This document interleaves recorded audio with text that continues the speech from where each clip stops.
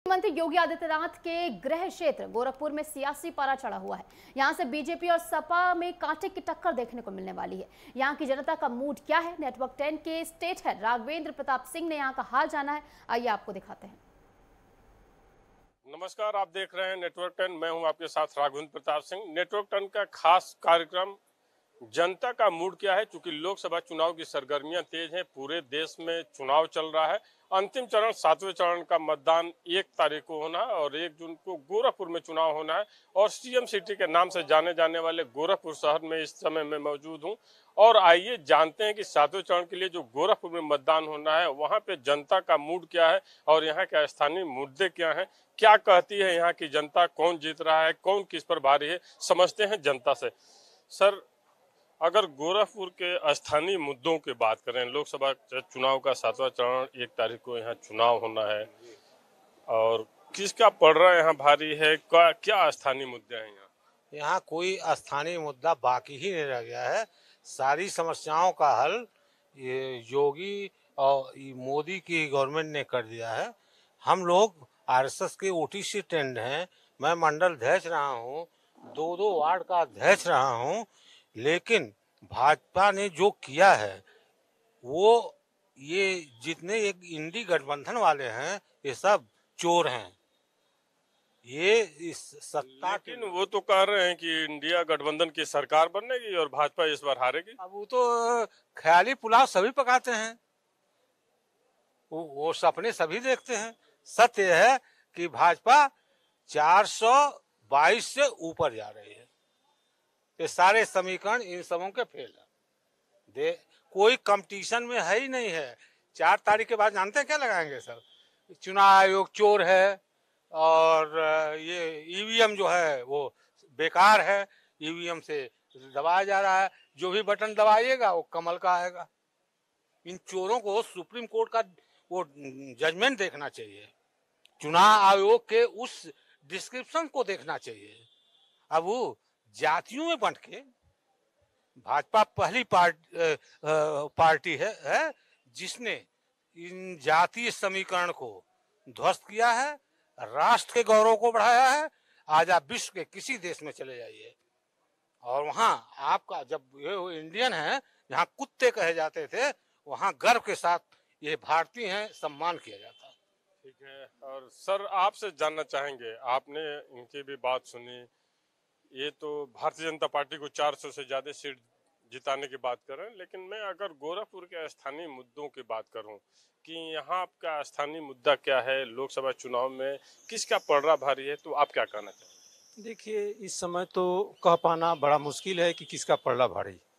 पहले पिछले चुनाव में इसी भाजपा को लेकर के बड़ी सुनाई देता था कि मोदी जी आएँगे, मोदी जी आएँगे, लेकिन इस बार तो जनता एकदम साइलेंट है।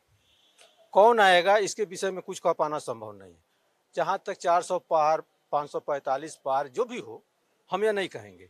लेकिन यह पता नहीं कैसे कहा जा रहा है हम कहने silent wave there is silent wave तो कह तो रहे ये साइलेंट वेब है। और चार जून को आप देखिएगा ये इंडी गठबंधन वाले खाली ये पूछेंगे कि ये ये ये ये ईवीएम की देन है। ये चुनाव आयोग ने बेईमानी किया है। और सुप्रीम कोर्ट तक जाएँगे ये मेरा ये मेरा वर्ड है। ठीक है। जनता भाजपा के पक्ष में मतदान करेगी और मुझे भी पूर्ण उम्मीद है कि लगभग सवा चार सौ साढ़े चार सौ सीटों तक भाजपा पहुंचेगी।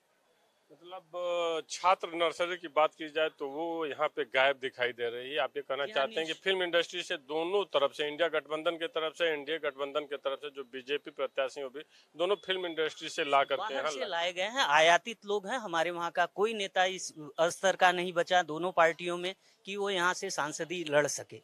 यह दुर्भाग्य है गोरखपुर का। मतलब यहाँ वोट भी होगा तो मोदी योगी के नाम पे मोदी और योगी के नाम पर ही यही नहीं संपूर्ण देश में अगर भाजपा जीत कर जाती है तो योगी और मोदी के नाम पर जा रही है न अपने सांसद और विधायकों के नाम पर जा रही है। अच्छा आप क्या कहना चाहेंगे सर? अगर गोरखपुर के परसेप्शन में हम बात करें कि यहाँ के हुए बदलावों पे या इस समय का ज्वलंत मुद्दा यहाँ पे क्या है?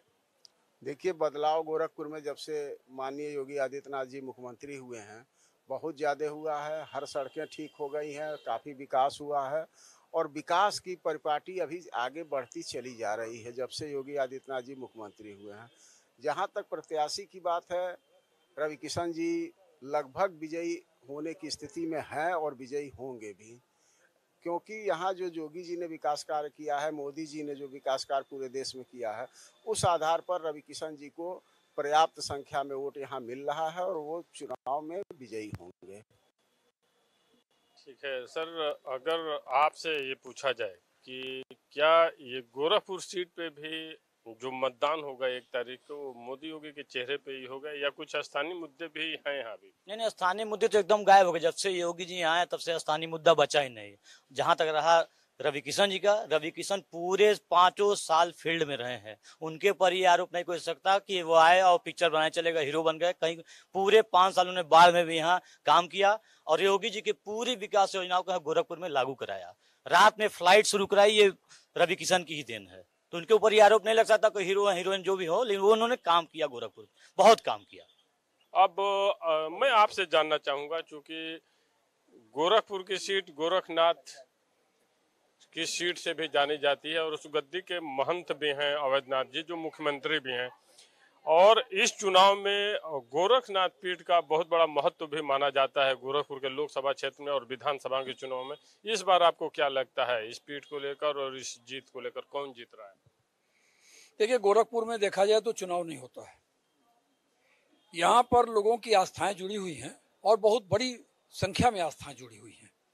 यहाँ तक कि जो गोरखनाथ मंदिर के अगल बगल मुस्लिम कम्युनिटी है, उसकी भी एक तरीके से आस्था जुड़ी होती है, क्योंकि एक ऐसा संबंध है, वो एक दिखाव के संबंध तो ज़रूर है कि हिंदू और मुसलमान और ये और वो चुनाव में बहुत सारी बातें होती हैं। लेकिन अगर गोरखनाथ का मेला जब लगता है तो 50 परसेंट से ज़्यादा मुसलमान वहाँ दुकान लगाते हैं जिनकी रोजी रोटी वहाँ से चलती है।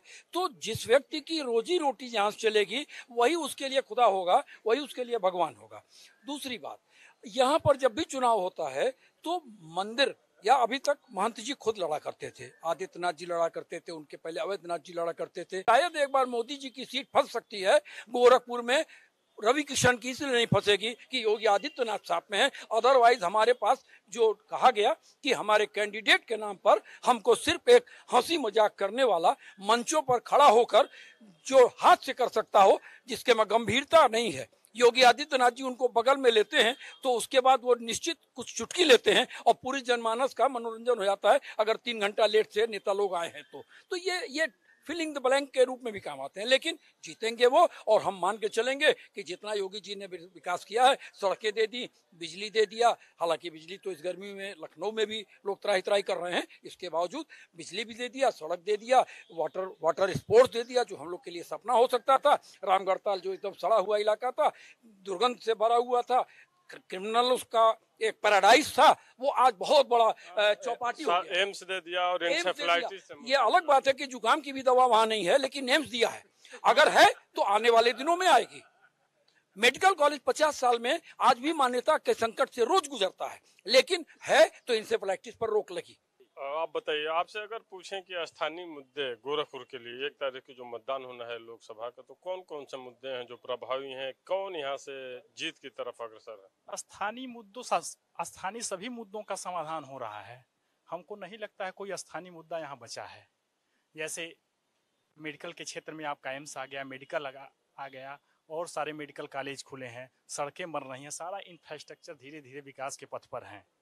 और एक दिन में तो कोई काम नहीं हो जाता है उसके लिए कुछ समय चाहिए दो साल चार साल दस साल। और ये सरकार वर्तमान सरकार इस पर अच्छा काम कर रही है तो हमको लगता है कि फिर यही सरकार रिपीट करेगी यही प्रत्याशी रिपीट करेंगे अच्छे मार्जिन से रिपीट करेंगे। ये गोरखपुर की जनता थी जो यहाँ के स्थानीय मुद्दों की बात की जाए तो यहाँ जो एम्स बना है यहाँ जो सड़कों का जाल बिछा है या बोट स्पोर्ट्स की जो व्यवस्थाएँ की गई हैं अपराध पे जिस तरह से अंकुश लगा उन मुद्दों की बात कही वहाँ पे कुछ मतदाताओं ने यहाँ पे राष्ट्रीय सहारा में जिन लोगों का पैसा डूबा है, वो किसी भी प्रत्याशी द्वारा उस मुद्दे को न उठाने की बात कही कि सहारा में तमाम गरीबों का पैसा डूबा है, वो पैसा वापस होना चाहिए। और मुख्यतः गोरखनाथ पीठ जो यहाँ पे गोरखपुर में गद्दी है, जिसके महंत योगी आदित्यनाथ जी हैं, जो वर्तमान में मुख्यमंत्री भी हैं, उस मुद्दे को प्रभावी रूप से बताया कि वो मुद्दा ज़्यादा भारी है। और गोरखपुर की ही वो उत्तर प्रदेश में इकलौती एक सीट है, जहाँ पे जीतने के लिए कौन जीत रहा है, ये सोचने की बात नहीं है। और ये जो वोट पड़ेंगे योगी आदित्यनाथ के चेहरे पे पड़ेंगे गोरखनाथ पीठ के चेहरे पे पड़ेंगे और ऐसे में भारतीय जनता पार्टी का पड़ा भारी यहाँ पे मतदाताओं के अनुसार दिखाई दे रहा है। वीडियो जर्नलिस्ट दिलीप के साथ मैं राघवेंद्र प्रताप सिंह, नेटवर्क टेन, गोरखपुर।